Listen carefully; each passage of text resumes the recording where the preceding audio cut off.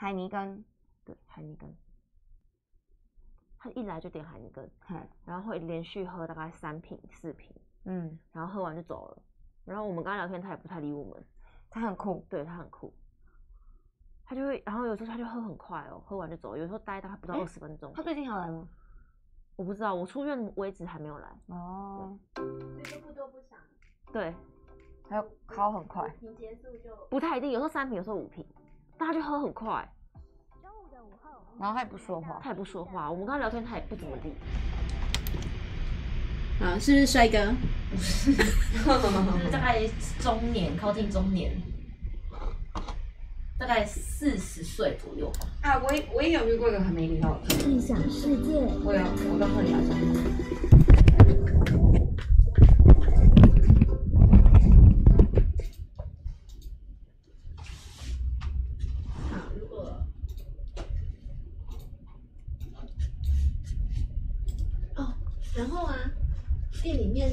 吃吃的东西也可以稍微聊一下。吃的东西，会觉得去酒吧好像是不是真的只有酒？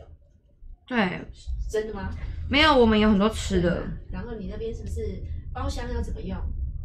包厢可能没法聊，可那个我们应该就没有聊。对对对，我们应该聊医医疗的。然后那个播片头了。好。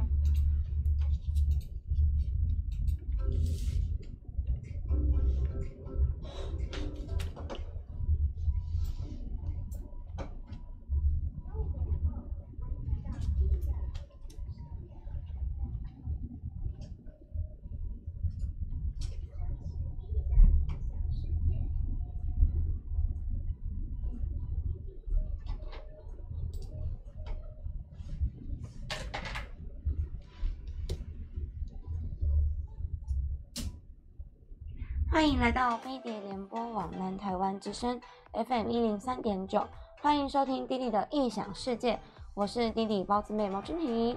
Hello，欢迎听众朋友们，大家下午好。呃，我今天呢邀请到从火灾中呃复活的小妹珍珍。嗨，大家好，我是珍珍。嗯，呃，我上一集因为我们家就是遭逢一些很不幸的火灾，所以呢，我就是想说特别做一集。关于火灾的这个防疫啊，或是火灾发生过后，我们应该要怎么应对措施这件事情。那今天呢，我邀请到我妹，其实也不是特别来聊火灾的啦，我们是要来聊聊酒吧的这个甘苦谈。因为我们家在十一月初的时候，嗯，我们我们家里的人，我跟我妹妹还有真正是小妹嘛，然后小灰灰是大妹，还有我爸妈，我们一起开了一间酒吧。我们开在南子，那店名叫做什么？一二零二。那你可以跟我们聊一下，为什么我们的店名会叫一二零二吗？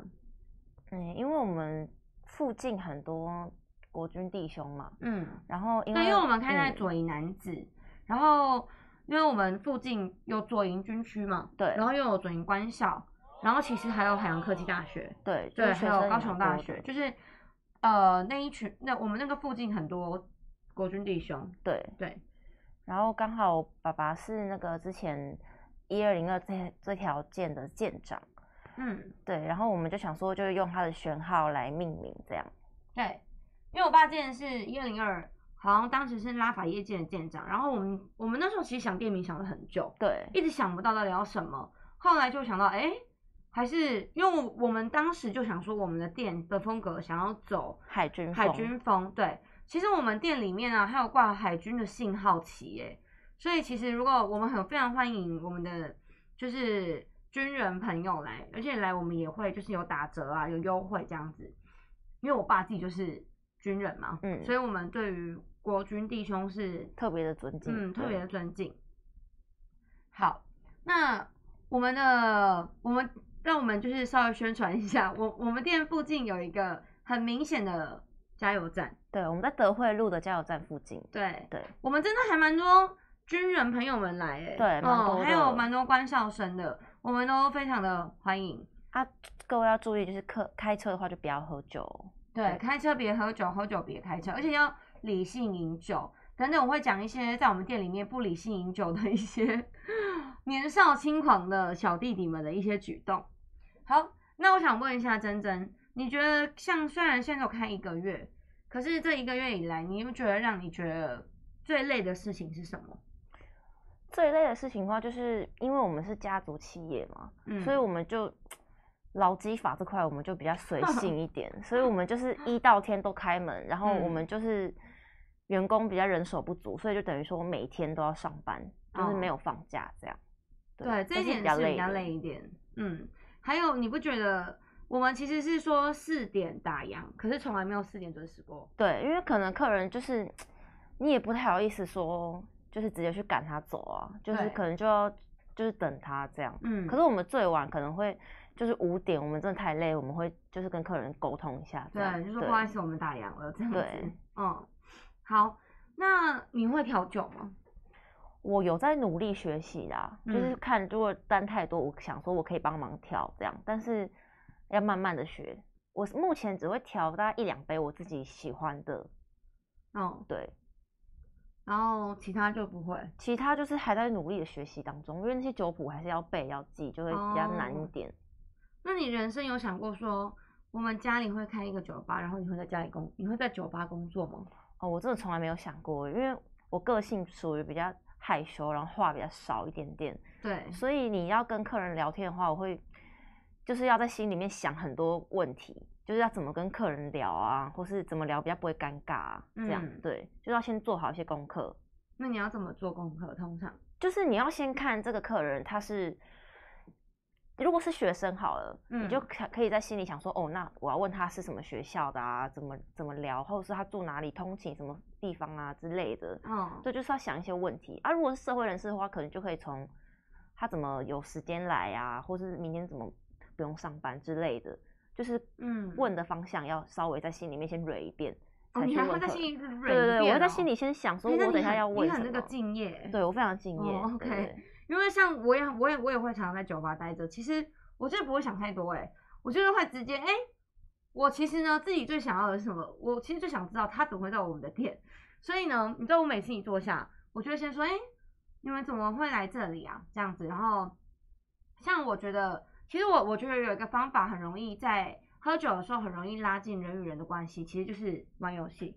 嗯，因为其实人总是没有那么多话可以聊吧，而且又是第一次见面。对对啊，所以其实有时候就很尴尬。对，有的时候就是可能玩点游戏啊或什么的哦。而且我跟你们说，我们店里面我们的小菜非常好吃，因为你们都知道我们家的水饺啊、包子啊都是我妈妈自己做的，然后包括现在她也是我们店里面的厨师，她是大厨，对她完全是一个大厨的角色。就是它炸东西都炸的很好吃，然后我们里面的像我们的鸡块，我们都是选最嫩的。对，嗯，我觉得比一些很知名的那个连锁企业之类的还要好吃。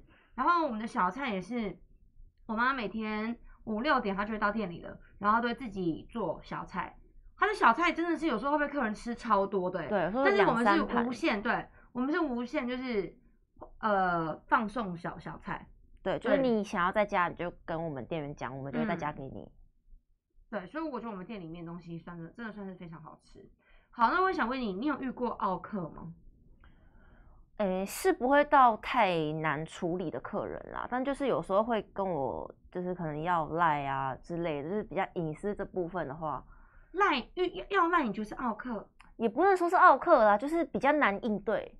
哦，就是我我如果不给他又又不太好，但是给了我又。不太想要在下班时间，就等于说另类的加班啦。哦，对对对。那其实以后这种方法，我也想要教各位女生哎。其实你们就给 IG 就好了。你就说哦，我比较少在用 Line，因为 Line 可以打电话来烦之类的。对。可是 IG 不能。嗯。你就说哦，你就说，可是我比较，你说我的说法都是我会说。哦，可是赖太多广告讯息了。可是我比较常用 IG，现在 IG 也可以打电话哎，还有视讯哎。哦，真的吗？真的真的。可是 IG 的话，反正多一个粉丝也没差。对了，对啊，而且你可以不用回应他。嗯。赖就是比较私人的。对对，所以以后你就这样婉拒就好了。好。对，我也要教各位听众，就是女性朋友们，女生比较容易遇到，就说太多广告讯息就好了。好。而且你已经这样讲，对方其实也。不太会硬，不太会硬要，对。然后好，我要讲，我要讲一个我遇过一个奥奥克的，就是有一次我也是就是我都忙完之后，然后我到酒吧，然后那个男的就说他是什么加工区的人，然后我那天一到的时候，我觉得他是我遇过很没有礼貌的一个男的，他看起来就是一个中年男子，戴眼镜，我到现在都还记得，就是他长什么样子，他就是没礼貌到委屈，然后他就说，哦，你就是谋肢体吗？他前面的时候好像没有跟我哦，他前面就先问我说，他说哦你是某肢体吗？然后我就说哦对啊，然后因为店里很忙嘛，我我不可能会就是一直定在那边跟你讲话，然后我就一直忙来忙去忙来忙去，后面就他酒醉之后，你还记得那个人吗？嗯，然后酒醉之后，他应该喝多了吧，然后他就是一直跟在我旁边哦，我还收桌子，他还跑来哦，然后但是你知道他来跟我讲什么话吗？他说你真的很不怎么样哎、他说你什么？你还你还记得吗？长得很普通、对，欸，他说你长得真的很普通哎、然后我说对，我说我长得真的非常的普通。然后我说那你以后可我我我我说你也不用一定要来这里啊，这样。然后后面他就跟我说他老婆很漂亮，他说他老婆二十几岁是越南人。然后我说哦真的吗？我说那很好啊。然后反正他他就他就一直一直跟着我哦，一直跟着一直跟着一直跟着。然后后面他还拿他老婆的照片出来给我看。那我说哇，你老婆真的是非常非常的漂亮哎、然后他就会说对啊，所以你所以你很普通。然后我说嗯，我说那你要不要回家找你老婆？可是他就一直跟着我，一直跟着我，然后跟到后来，我表弟就直接出来，就是要把他就是挡掉。然后我表弟话，因为他真的要一直黏着我跟我讲话。然后后来我表弟还跟他讲说，你若而且我我我已经进到那个就是吧台里面了，他还就是企图想要进来跟我说话。然后表弟后来就跟他说，你先给我一千块，你才可以跟他讲一个字。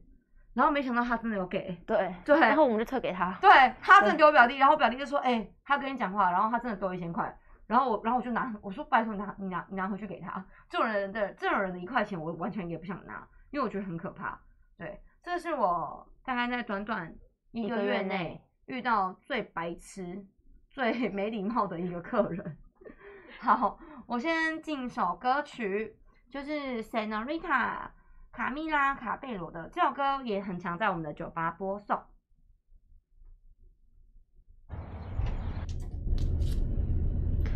这个人算是非常没礼貌，他超没礼貌，他超没礼貌的啊、而且而且你说去哪桌，他就跟去哪。对他超恶，他超烦。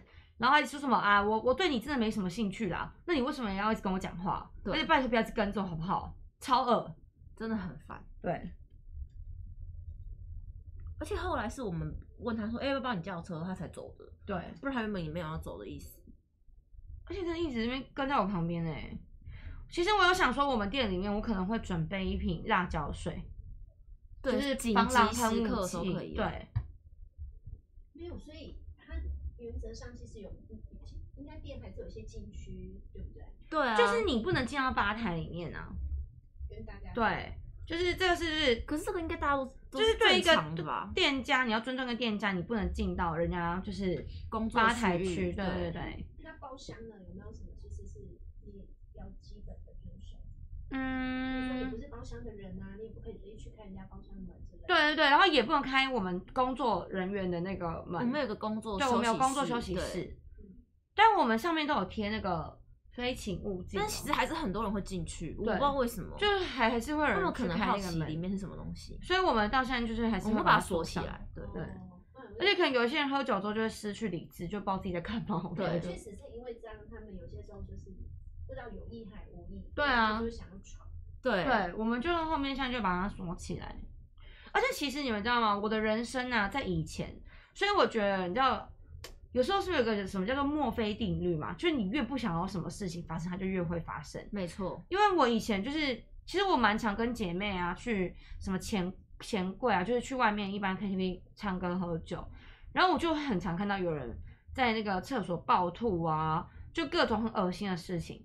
然后我以前就要暗自心里想说，嗯，我以后一定不会做关于就是酒业相关的工作，因为太恶了。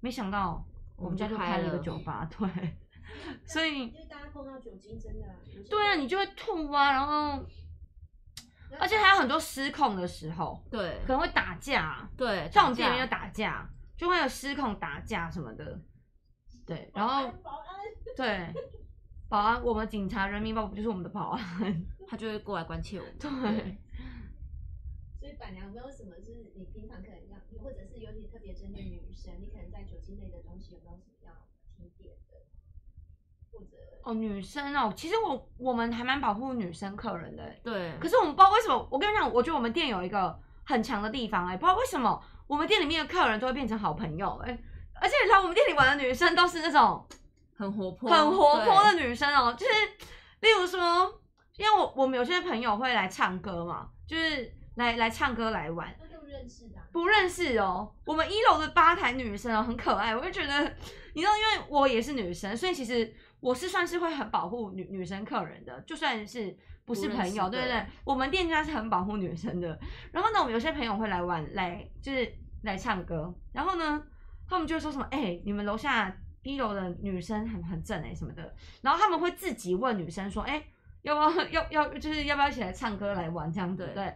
然后呢，女生也会问我们，然后我就说，嗯，我就说如果你们想，然后我还会说，哦，他们是什么什么人啊，很正常的。然后我说，可是一切要看你们的意愿，就你们如果不想的话，就也不用。对对，然后可是我发现我们我们我们店里面坐在一楼的女生喝一喝，他们就会说，哎、好，帮我们那个上去玩一下上去跟跟你们朋友玩一下。然后我就哦好，然后呢，但是上去之后我们都会还蛮关切女生的状况啊什么的。然后但是后面发现就是女生们都会玩的很快乐，对，对，就其实不太需要我们，不太需要我们操心，他可能也不想我们那么过多的关切，对对。然后反正对我们店里面是很安全的，女生来绝对安全，我们一定会保护好你的安全，只要你想要被保护，对，对。那像他们喝的那种，例如说 tequila 或什么的，也会提醒一下，就是它的酒精浓度之类的。会啊，一一定会啊。像女女生有的，但是有有的酒量不太好的，我就会说也可以喝，就是像因为我也是酒量不好的人，我可能就会推荐他们我觉得好喝的，然后酒精浓度又不会这么高的。可是现在很多女生很会喝哎、对所以啊是，我们想太多，我们想太多了，哦真的 真因为的我年轻的时候被 tequila 吓，那被那个深水炸弹吓过。哦，那个就是那时候是可能那一桌的，当然我不知道那时候男生，但是他们他们只是在笑，可是你要想说是啤酒，哦，没有，它是啤酒加后酒一起，对对对那很可怕你你是之后才知道为什么它叫深水哦，是炸弹，对，它是真的这点高 day，嗯它就会整个嗯威力就会爆炸嘛。对，对，我那次我真的有被吓到，但是也是有真的是土是没有到失态，但是就是我后来发现我自己就是可以，真的很不行的时候，我会自己猛挖哦，挖挖就清醒了。对啊，对对对对对对对。可是这样子好像也不太好，会伤食道。对，会伤食道，太胃见。对啊，对。那但我们店里的女生来一定会很安全啊，对对，因为我们会保护好女女客人，只是女客人通常不想被保护。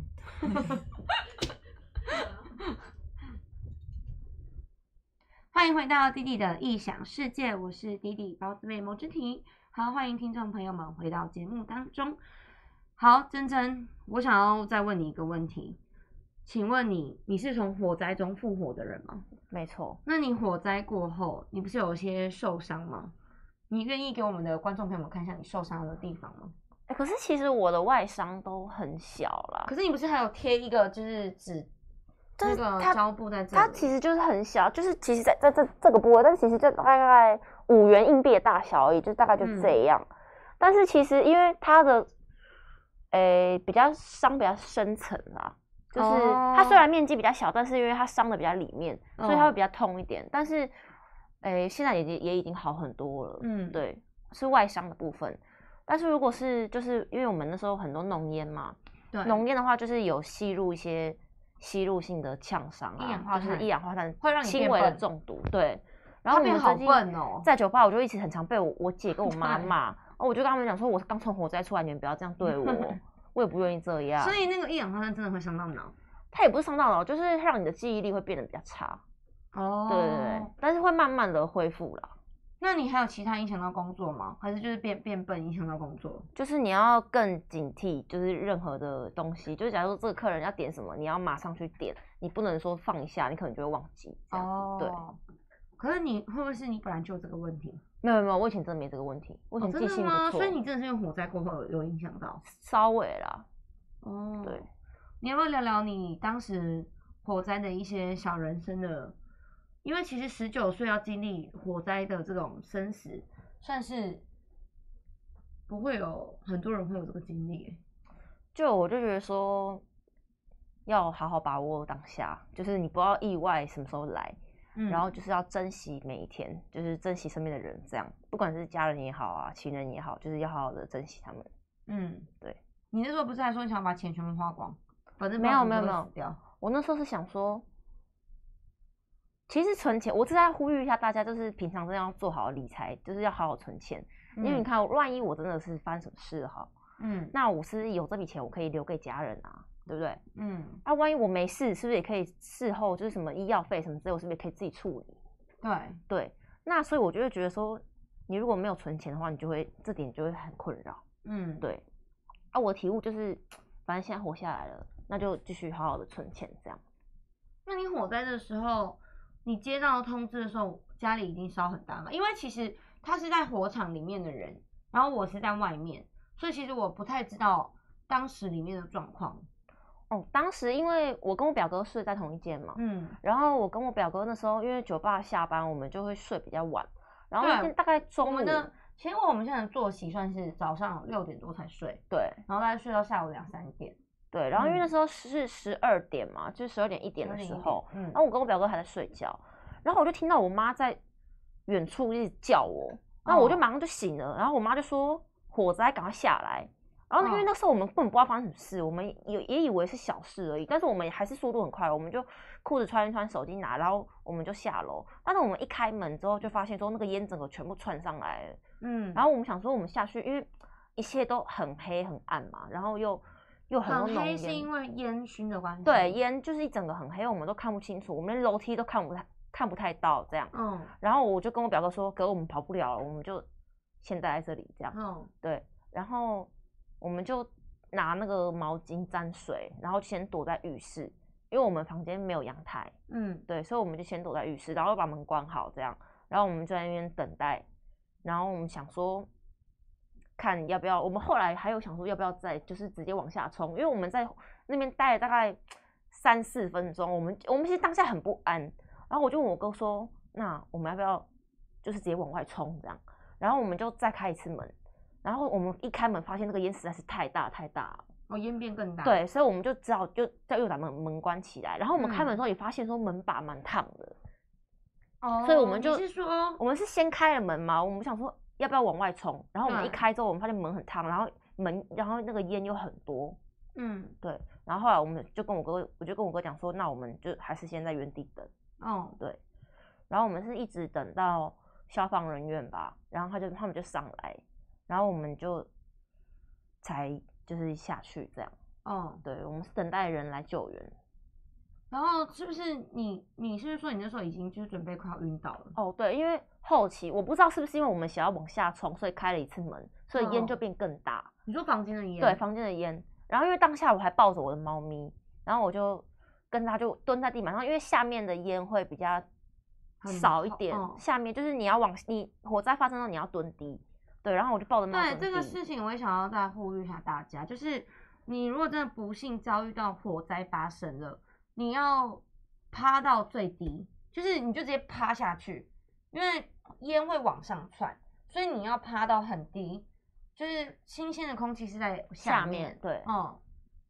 然后你那时候是因为你要抱着猫咪，所以你也没办法。我没办法太低，我没办法整个趴下去，因为我哦抱着我的猫嘛，所以我只能类似蹲着那样。嗯，对，然后我们就在那边一直等，对然后呢？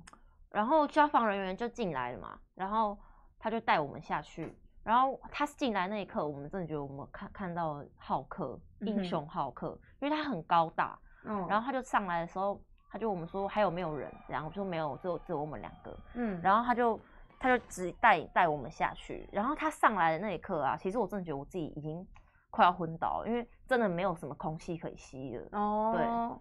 然后还好他及时的赶到，哦，对我跟我哥就在讲说，如果他们晚到五分钟，我们可能就会 直接死在那了。哦，因为因为已经快已经对，要我们真的已经快要吸不到气了。对对，然后而且他的手你的手受伤好像是因为我是因为抱着猫咪，对我是因为抱我的我的猫啊，你这样子抱着而且他说，你你是不是从楼梯上你用坐着下来？对，因为当下其实不太懂这件事情。因为那个时候很黑嘛，所以你看不到楼梯。然后因为楼梯，因为你要灭火，所以就很多水啊，然后玻璃还有破掉什么的，所以我们就是，他就叫他就叫我先坐在那个楼梯上慢慢往下，然后我一直到，因为毕竟是我家嘛，我还知道楼梯，所以就是我就我熟悉了之后我往下走都。是玻璃那一层的时候怎么办？其实那个时候太混乱了，我也不知道。哦，你也不知道。，对，所以就算我受伤，我可能也不知道我受伤，而且当下会穿激发鞋子吗有，我有穿。因为对你还你还记得，就是二楼那边整个都是碎玻璃。对，，因为当下其实你的那个肾上腺素很高，所以嗯我当下被烫伤的时候，其实我根本完全不知道自己有受伤。哦，对我是一直到医院，然后护士跟呃护理师跟我说，哎、你有外伤哎，这样我才嗯发现说原来自己有烫到。对，那你那时候才痛。对我那时候才慢慢的感知到自己有痛这件事。哦，对，所以其实你有一点不知道你是后面怎么出来的。哎、我我知道，但是嗯，我不知道大脑是有保护机制吧，它就嗯会、那个影像在我脑海中会慢慢的变淡。但当然嗯这件事在我脑海里啦，对，我不知道怎么解释嗯这个现象。对哎、那我问你哦，你有想过我们家会发生火灾吗？我当然是完全没想过啊，因为就是哦就每天回家就是睡觉嘛，然后我也就 安心的像平常一样睡。就也不会想说有遇到什么火灾之类的。对，好，刚刚呢，我们就是再跟大家分享一下他的火灾的体悟，因为还是再多呼吁一下，发生之后应该要怎么应对应对这些事情。好，那我再问你，你这样受伤过后，你在酒吧工作有没有什么最不适应的地方，最不适应的地方哦，或是你工作到现在？工作到现在哦，就是因为我之前的工作就是在家里帮忙包水饺而已嘛，就是对没那么累，然后也不用跟客人聊天什么的。嗯，现在最最不适应的就是说你要调整自己，就是让自己变成一个外向的人，然后跟客人 聊天这样。嗯，对。那你有遇过就是让你印象深刻的客人吗？诶、我们有一个有一位客人呢、他他很可爱，他就是每次来他就固定点海尼根，嗯，然后差不多会喝个四五瓶吧，然后他就喝很快哦，然后我们要去跟他聊天，他也都不怎么理我们，然后就自己干完那几杯之后，他就付钱就走了。等一下他就坐在那边，然后这样子这样，对他喝很快，他真的喝超嗯快，对，他然后可能喝完，他就就走了，他也不跟我们聊天，对，然后他每次都一个人来这样，嗯嗯，对，那他走的时候是清醒的吗？还是是醉的？呃，微醺吧，哦，微醺。对，这也蛮酷的。还有吗？诶，还有一个，但是那天我不在，可能要你来讲。哦，你说那个酒醉的对男生，有一天我们店里啊来了一个，就是他也是一个人来。哦，你们知道他多奇特吗？我还想到他有多奇特。他来酒吧那一天哦，他还他就来一次，然后我就想说，哎、他坐在吧台，那我就看一下他。我我我经过他的时候，我发现他竟然给我戴耳塞，哎，然后我以为他戴耳机，你知道吗？然后我就说，哎、然后我就去拍他，我说，哎、我说你来酒吧你还自己听听自己的音乐哦？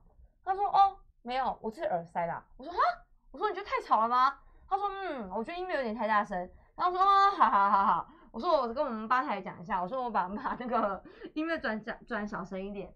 然后后来好，我们就转小声一点之后，他就一开始都好像也没说什么。然后因为我我发现，在来酒吧做吧台的人啊，彼此会聊天，就是他们彼此会，我觉得喜欢做吧台的人也是喜欢跟陌生的人，对对对对，就跟陌生人有一些互动啊、聊天这样。好，他就聊聊聊聊，然后他也在跟我们的八天的聊聊天。然后呢，我就发现哇塞，他喝了三杯、四杯那个调酒，然后他就是，然后其当中啊，他有说，哎、他就说他已经是一个人了，好像还来续他，已经在我们店里面已经是第二第二节了这样。然后他说他都喝不醉，就是他酒量很好。然后我问他几岁，然后才十九岁，就跟珍珍一样大。然后后面我们调酒师给了他一个，就是我们这杯酒名叫做方程式。方程式就是反正不知道听起来就很可怕，对了。然后呢，他也就是说他爸爸就是是高粱派的啊，他说他像他爸爸，所以他喝不醉。然后就最后呢，他喝醉了，然后他就开始那个哦，他当中还他还有对我讲很呛的话。他喝酒，他可能喝多了，然后他就说：“哎、他说我觉得你很漂亮哎、然后我说：“哦，谢谢。”他说：“哦，我不能再说了，我我不能再说了。”我说：“怎么了？”他说：“我怕我再说下去，我会讲一些失礼的话。”我说：“哦，我说那你不要讲。”我说：“我跟你说，我学过柔道。”我说：“你讲失礼的话，你会被我揍这样子。”然后他喝很多哦，他还马上就直接跪下哎，他直接跪下说：“哦，抱歉，抱歉，抱歉。”那我说：“没事啊，没事啊，平身，平身。”因为他才十九岁，然后他真的是直接就要跪下哦。然后我说：“没事，没事，起来，起来，起来。”然后因为他那时候他已经醉了，然后我们店里有沙发嘛，其实我们酒吧里类似沙发吧，对，对，所以其实你们来可以都可以蛮舒服的坐在沙发这样。那、当然有酒吧可以选择好。然后后面因为已经很尾声了，然后我们我我妈就叫他来我们沙发那边坐就好。然后坐一坐之后，他好像就开始有一点，他就开始有点失控了。然后就后面后面我有点搞不太清楚，后面我就去忙嘛，收桌子啊什么的。然后我们 bartender 就先把他赶赶，就是把他先把他赶出门了，就赶出我们的店外面。然后呢，再隔一阵子，然后我听说他已经走了这样。然后等到我们大家就是要收店，然后要下班回家的时候，我们就发现有一个人倒在我们的店门口，然后暴吐哦，他整个就是他睡在那个吐堆上面。然后我们想说，嗯，真的是年少轻狂。可是我，可是我，我我觉得我妈人很好，可能因为她跟我小妹一样大。然后我妈就说，哎、要不要去叫她朋友之类的？她说跟你妹一样大、哎，我说可是她现在这样，你要怎么叫？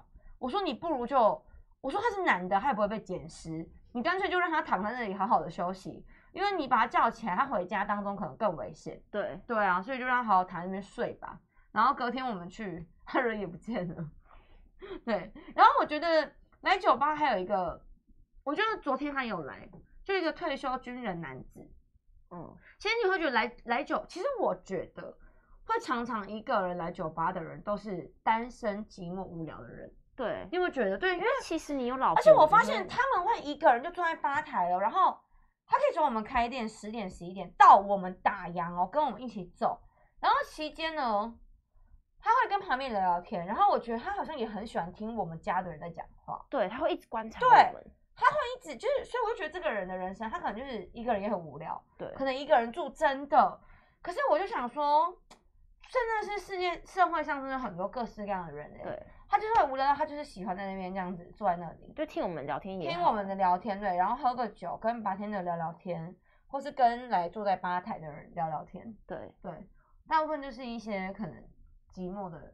人对，好，我接下来呢也要放这首歌，也是在我们酒吧常常播放的歌曲，是 Something Just Like This 老烟枪双人组的歌。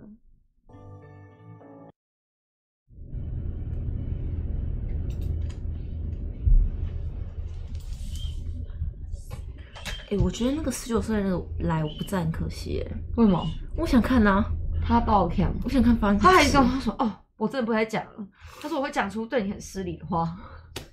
然后我就说：“对，那你就不要说。还蛮可爱的。”对，他还蛮可爱的。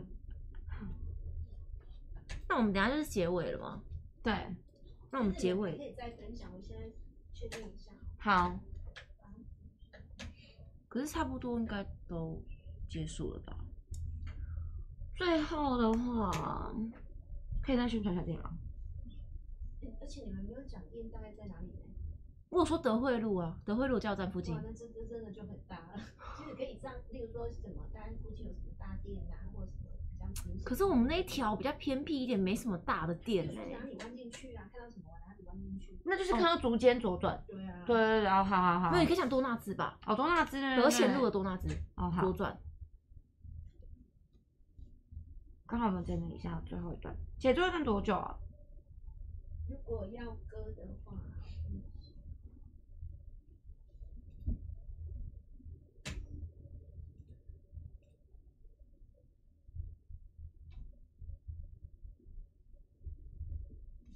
多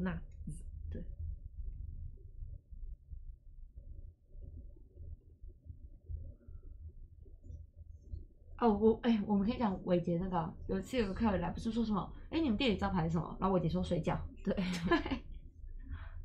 然后说，哎，你们这里不是酒吧吗？结果他还是点了水饺。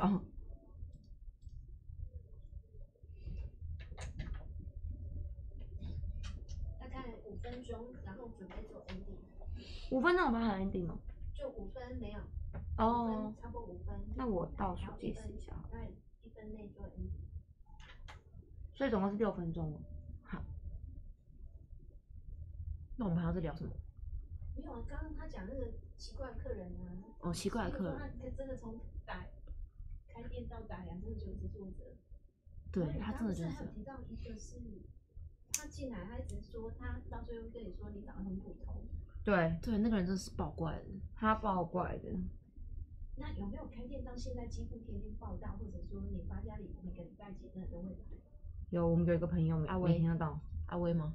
哦，对对对对，有，就是有些就是单单身男子啊，对，我们大概有三个人吧，每天都会报道的然后，几乎板娘可以对聊一下，就是他们是可以怎么跟你们，是可以主动找你们聊天还是怎么样？就是有没有一些哦，有客人会说他觉得有点无聊，就是他会透露出这样的讯息给我。在昨天。对，好，等一下，等一下，这你可以讲然啊。后板娘要问，然后嘞，然后嘞，还是你们有什么小游戏、想玩起？那个射飞镖哦，我们也有设备标我，们有飞镖机，就提好不好？板娘提供一下这种对，觉 得很无聊的时候，还可以怎么样，在合理的范围之内。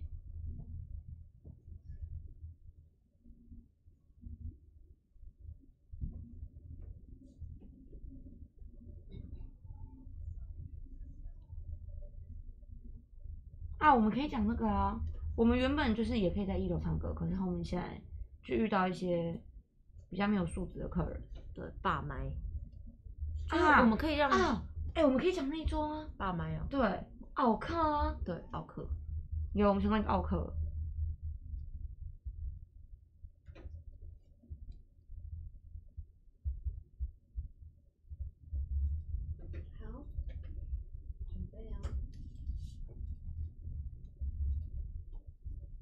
欢迎回到弟弟的异想世界，我是弟弟包子妹魔之婷，欢迎回到节目当中。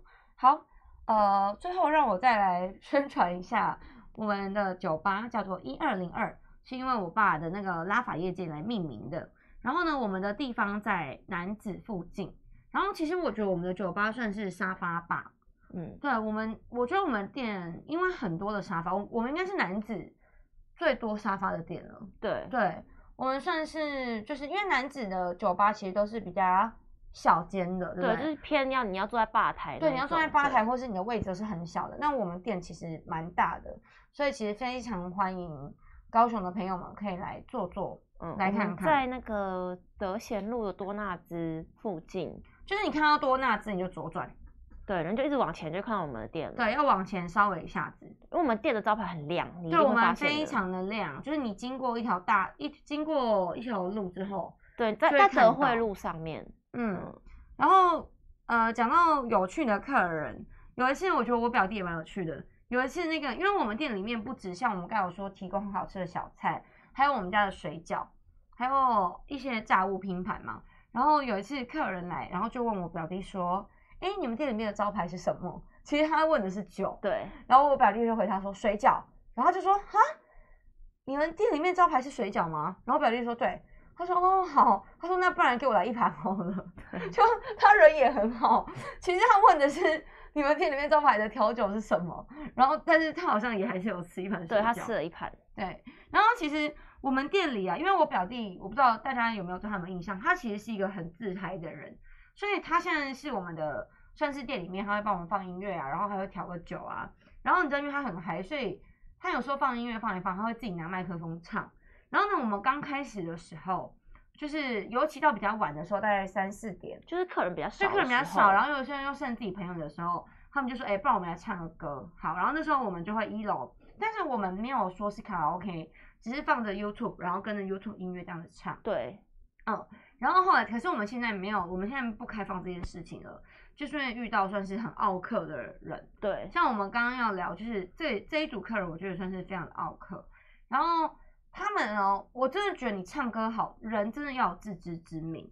你唱歌好听就算了，你难听，然后你还敢把我们这边当成卡拉 OK？一首接着一首对，在大厅唱。有一次我也是忙完，我到店里，我看到两个小女生跟我坐在吧台唱那种煎熬，你们应该知道那个吧？李佳薇吗？是李佳薇。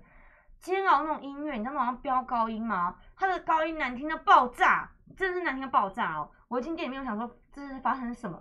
这是什么状况？然后我看到店，我看到旁边，而且那天好像是礼拜五晚上，店里很满，就是客人很多。然后我看旁边的客人是直接就是很是煎熬，他们也很煎熬他们的。脸非常煎熬，我看脸色真的非常煎熬。我想说，哇塞，这真的很不对劲。然后我就马上跟我表弟讲，我就说，而且他们竟然还想要继续再唱第第二首，反正我就完全扮一个黑脸啦。其实，在店里面我算是黑脸，然后我大妹算是就是小慧慧算是白脸，我觉得。然后她就是一个员工一个对他他就是这样子。然后呢，然后那次之后，我就跟他们说不能唱歌，然后我就跟他们说，因为我们没有试品牌，对对，所以不可以唱歌。尤其你唱歌，我是没有讲啦。我想说，你唱歌难听成这样，还敢唱？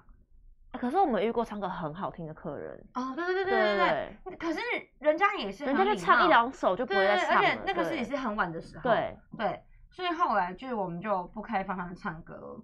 但我们店里之前有，对但现在就没有。对，然后我们店里面也有飞镖机，所以如果喜欢玩飞镖的听众朋友们，也可以来我们店里玩玩飞镖。然后，那你有遇到很想跟你讲话的客人吗？嗯，是不会到很想讲话，可是他们会试出一个说他们有点小无聊，想要聊天的这种资讯给我。例如嘞，例如，怎样的资讯？哎、例如像我在帮我们点酒的时候，他们就会说啊，可是都没有人陪我们聊天，我们点不下去、哎，这样。哦，对对对对这种暗示的话，对，然后我就会做哦去，就蛮暗示对对的欸对。哎、哦。当然我就知道什么意思了嘛，我可能就会拿一杯自己的酒，然后坐在他们旁边，然后跟他们小聊一下，问他们要喝什么啊、我们有自己准备自己的一个外面的小椅子。对，然后我想哦。说就是、就是跟他们介绍一下酒啊，哦对对对，然后来了之后跟他们就是小聊喝一下这样，哦，对，因为我在店里面也蛮忙的，我没办法说一一直直坐在那坐在那边嗯，哦，好，那非常感谢邀请到今天珍珍从火灾中复活的珍珍来跟我们聊一下他的一些，我觉得算是他人生一个历练啦历练了，对，因为其实珍珍也算是一直也都没有在外面历练过什么，我觉得这对于十九岁的一个小朋友来讲，也算是一个人生的，很很哎、怎么讲？就是需要一个体验，对，一个体验。嗯。好，那谢谢收听今天的节目，也欢迎上网搜寻飞碟联播网南台湾之声，你可以在 YouTube 直播搜寻 UFO 一零三九，记得帮我们按赞、订阅、开启全部的小铃铛，也可以搜寻我们南台湾之声的 IG UFO 一零三九，也可以追踪我个人的 IG 账号 D I D I E R 点 M O U，或是打某肢体也会有。那我自己的个人 IG 账号呢，我会发布还蛮多关于我们酒吧啊，或是呃一些生活平常，就是我一些自己生活发生的事情啊，所以大家也可以上来看看。嗯嗯，好，那最后呢，我要介绍大家这首歌，这首歌呢就是真真点的了，这是 A Thousand Years 之前那个《暮光之城》的歌，是克里斯汀泰瑞唱的。好，那我们下周同一时间见喽，大家拜拜，拜。好，那我们线上的观众朋友们，我们的酒吧呢叫做一二零二。其实呢，你现在去 Google 打一二零二 bar 就会有了，对地址也就会出来。因为我们的地标终于终于下来了，所以其实我觉得很好记，就是一二零二，你打一二零二 B A R 一二零二 bar 就有了。然后地址啊、营业时间啊上面都会有。我真的觉得我们店里面还蛮舒服的啦，就是，可是我就觉得这样说怕会得罪男子的相没有没有，亲朋友我来讲，我来讲，好好好，我们昨天刚好有一组客人，我就有跟他聊，因为他说他男子的酒吧他大部分都有去过。嗯，我说那你觉得我们店跟其他酒吧最不同的地方在哪？他就说他觉得我们这边店我们的店的那个空间很大很大，对，它不会有一个压迫感。嗯嗯，对嗯。还有我们真的比较像是沙发吧，对，因为我们我觉得沙发桌蛮多的。对我觉得男子其他酒吧比较像是真的是小酒吧，对，就是你可能要站着啊，对是对，而且其实你们知道，我们有一件事情也很意外，我们当时设定的族群其实是学生，大学生大学生，没想到来我们店里面的，几乎都是社会人士。对，大概九成以上吧都是社会人士，但是这样也没有不好啦，对啊，只是有点超出预期，就是跟我们想象中不一样，对。可是这就代表呢，其实我们店里面真的是算还蛮舒服的啦，所以社会人士才会愿意来酒吧喝酒，不然其实我还蛮多朋友是会去酒店的，但是呢，终于开了一家，就是可以让他们不用去酒店，对对对对，可以到就是我们这边沙发吧来坐坐喝个酒的，所以非常欢迎听众朋友们、线上的节呃观众朋友们，在 Google 搜寻一二零二就有了。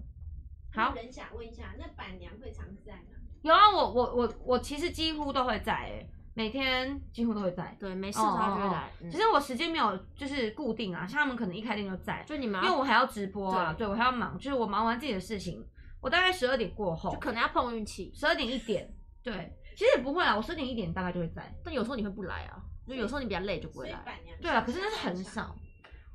其实，但是因为其实我们也是九点半开，对啊，我大概十二点一点会会会到了，对，就是我自己的事情忙完我就会过去，嗯对啊。好了，OK，有低消吗？有有一个人三百，对差不多就一杯酒了可。是就一杯酒或者再叫个吃的，其实两个人还其实还蛮容易就会对啊，或是一个人喝个三杯啤酒也差不多吧。然后如果低酒精啊，有什么建议？就是伴娘或者直接问 bartender。对啊，可以可以可以直接问吧，问八天的最准，对最准，因为有时候我也不知道那是什么基酒之对。对对对，我跟你们说，我有一杯叫做滴滴特调。如果女生来的话，你们你们知道我我有一次调给我那杯是我自己调给自己喝的，然后我有两个女生朋友，她就是非常喜欢，她们喝到之后，可是因为我们店里面其实几乎只有我，我知道大概要大概要怎么做女生才会喜欢。然后有一次我刚好不在，他们就说他们要喝那一杯，可是我们的白天人就调了原版的给他们，然后我一到，他们就说这一杯他们真的喝不下去，他们说他们只想喝就是我我调的。如果女生来的话，你就只要说我要滴滴特调那一杯，他们应该就会调了。哦对不对所以现在是都点得到。可以啊，可以，就是对对我已经有跟他们说，女生来如果要喝那杯的话，会比较好顺口它。算低酒，比较低酒精，对不对？对，它它它比较甜酒，而且它没有什么清，它没有那么多调酒那些东西。它没有那么多基酒啦。对，基酒其实其实我基个人酒都很很苦难入口。入对难入口。对，好了，当然欢迎大家可以来玩，下次见喽，拜拜拜。请订阅飞碟联播网南台湾之声 FM 一零三点九，记得帮我们开启全部的小铃铛哦。